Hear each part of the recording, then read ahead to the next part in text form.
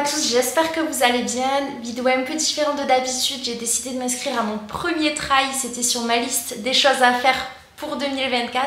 Du coup, je me suis inscrite au Trail du Ventoux, 26,9 km, plus de 1100 mètres de dénivelé. J'ai jamais fait ces distances encore, je sais pas ce que ça va donner.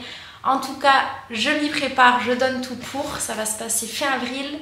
Et je me suis acheté ma petite paire de trail, une Salomon comme vous pouvez le voir. Salomon où le siège social est à Annecy, mais qui a été racheté par des Chinois.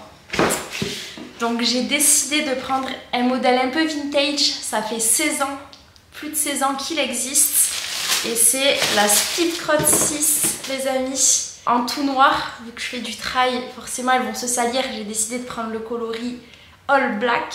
En dessous, je vais vous montrer de plus près. La semelle est anti-dérapage. Elle est vraiment adhérente. Et ils ont mis un contre-grippe qui permet aussi de laisser échapper la boue. Ce qui me plaît également, c'est que quand je courais avec mes anciennes chaussures avec des lacets, je devais refaire mon lacet plusieurs fois sur le parcours. Là, vous voyez qu'il n'y a pas de lacet, c'est un quick lace, ce qui va être énormément pratique. Là, vous pouvez voir que la technologie Energy Cell a été intégrée, ce qui permet un meilleur amorti, donc un meilleur retour d'énergie, ce qui veut dire quand le pied touche le sol, une meilleure propulsion, une propulsion améliorée. On peut voir aussi que sur le côté, c'est assez dur. Ils ont mis une sorte de protection anti-débris, ce qui permet de ne pas se faire mal avec les cailloux, surtout quand on fait du trail. Euh, la construction Senfit permet de maintenir le pied. À l'intérieur, on a une semelle ortholite, donc la chaussure est confortable et elle est, comme vous pouvez le voir, très légère. Elle est encore plus légère que le modèle précédent, la Speedcross 5. Donc ça c'est très agréable, on la sent presque pas au pied. Niveau rapport qualité-prix, je l'ai trouvé incroyable, c'est pour ça aussi que je l'ai acheté. J'ai réussi à l'avoir à 96 euros au lieu de 150. Elle est souvent en solde sur les sites et je trouve que ça vaut le coup. Vu que c'est une chaussure qui s'abîme vite en trail, je me suis dit qu'il n'y avait pas besoin que je mette plus de, 110 euros dans une paire. Et j'ai trouvé que c'était la meilleure niveau rapport qualité-prix. Le look, vous pouvez voir, je vais le mettre au pied tout à l'heure. Mais look vintage, donc j'aime bien. Elle est assez agressive.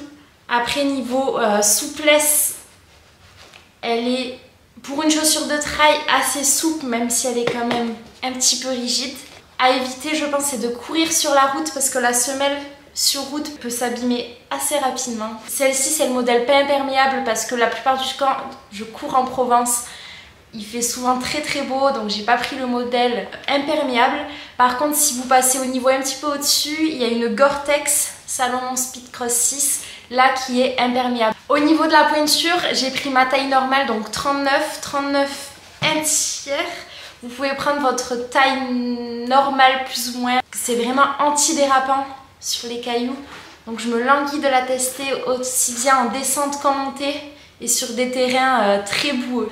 Donc pour résister, euh, pour résumer, elle est résistante, confortable, légère, elle accroche au sol grâce à ses crampons et elle protège contre les chocs.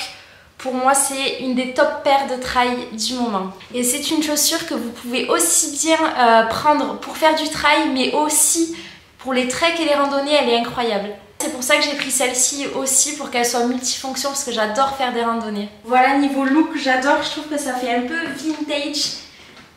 Ça a de la gueule comme on dit. Regardez comment ça donne au pied.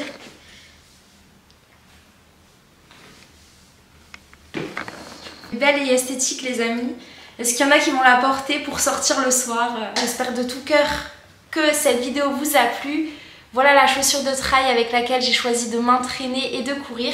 Je vais la tester, je vous dirai combien de temps elle dure, comment je me sens quand je cours avec. Je vous fais de gros bisous, j'espère que cette vidéo vous a aidé. Si c'est le cas, n'hésitez pas à liker, à vous abonner. On se retrouve très bientôt. C'était Chachou.